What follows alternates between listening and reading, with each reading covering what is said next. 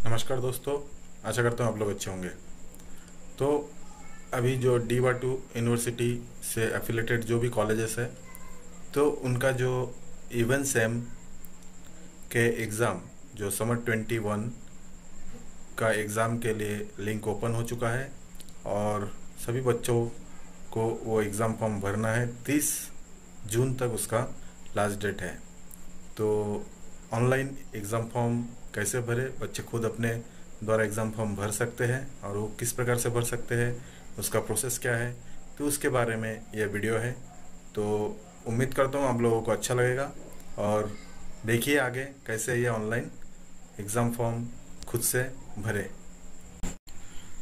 तो देख सकते हैं ये लिंक है या वेबसाइट है डायरेक्टली यहाँ पे, या फिर तुम गूगल में सर्च कर सकते हैं डी बा टू स्टूडेंट लॉगिन तो ये क्लिक करने के बाद, जैसे ही स्टूडेंट्स लॉगिन लिखेंगे और एंटर करेंगे तो ये जो पहला लिंक है form filling dot D ba two apps dot in तो उसको क्लिक करना है। और फिर इस प्रकार से हमारा साइन इन का जो विंडो है ओपन हो जाएगा। यहाँ पे देख सकते हैं यूज़र नेम और हमें पासवर्ड डालना है। यूज़र नेम जो होता है, जो है स्टूडेंट्स का जो पी आर एन नंबर है, वो है और पासवर्ड जो है उनका मोबाइल नंबर। तो हम एक यूज़र नंबर तो हमने एक यूज़र नेम डाले और यहाँ पे पासवर्ड डाले तो एज ए स्टूडेंट कैसे हम लोग एग्ज़ाम फॉर्म भर सकते हैं, वो देखने वाले हैं। तो हमको सबसे पहले अपने पोर्टल पे एज ए स्टूडेंट लॉगिन करना होगा यूज़र नेम और पासवर्ड डाल के। तो पासवर्ड डाल रहे हैं। तो यूज़र नेम और पासवर्ड डाल के एज ए स्टूडेंट हम लोग लॉगिन करेंगे। तो जैसे ही लॉगिन करेंगे तो ये होम पेज आ जाता है होम पेज जहाँ पे पूरे डिटेल देके रहता है। तो हमको एग्ज़ाम फॉर्म भरना है तो ये एग्ज़ाम फॉर्म पे क्लिक करना है और इस जैसे समर ट्वेंटी वन सिलेक्ट किया और एंटर किया।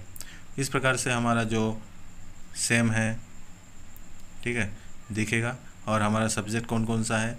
तो जो रेगुलर कॉमन सब्जेक्ट है वो बाय डिफ़ॉल्ट सिलेक्ट होकर रहता है। जैसे ये देख सकते हैं फ़र्स्ट सेकंड थर्ड है ना फोर्थ तो ये सब सब्जेक्ट जो है वो बाय डिफ़ॉल्ट सिलेक्ट होके है। अब उसमें क्या क्या रहता है? कौन से सब्जेक्ट में तुम्हारा कंटिन्यूस असेसमेंट है, किसमें तुम्हारा प्रैक्टिकल है, किसमें तुम्हारा मिड सेम एग्ज़ाम है वगैरह देखे है। तो ये जो दिख रहा है तुमको, यहाँ पे तुमको सिलेक्ट करना है, क्योंकि ये इलेक्टिव है। अब इलेक्टिव में तीन सब्जेक्ट देखे रहे देखे हैं, ठीक है? तो ये तीन सब्जेक्ट में कॉलेज ने कौन सा सब्जेक्ट सिलेक्ट किया है? तो जो सब्जेक्ट टीचर है, उनसे पूछ के हम लोग उसको सिलेक्ट करते हैं। तो सेकेंड जो लॉट है, उसमें से अभी अपने को इलेक्टिव सिलेक्ट करना है। तो जिस प्रकार से यहाँ पे देखें switch gear and protection second जो है कम कंप्यूटर एडेड डिज़ाइन थर्ड जो है माइक्रो मेकाट्रॉनिक्स तो हम लोग फ़र्स्ट जो है स्विच गेयर एंड प्रोटेक्शन जैसे सिलेक्ट करेंगे तो इधर बाय डिफ़ॉल्ट उससे रिलेटेड जो भी तुम्हारा असेसमेंट वगैरह है मिड सेम एग्ज़ाम वगैरह, वो सब सिलेक्ट हो जाता है। तो हमको सिर्फ़ सब्जेक्ट सिलेक्ट करना है। वो भी कौन सा? जो हमारे इलेक्टिव सब्जेक्ट्स है।